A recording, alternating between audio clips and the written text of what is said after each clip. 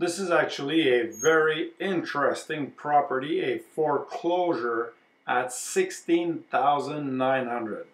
You know what you could do with this? Very easily convert it, clean it, convert it, and rent it. Section 8, you'd probably get uh, 12 to 1400 dollars a month in rent on this property, uh, and your cost would be close to 25 30 thousand dollars. So it's worth looking into. Also, look at the neighborhood, you know, where you're where the property is located. Is it worth it, yes or no, to work on that? So.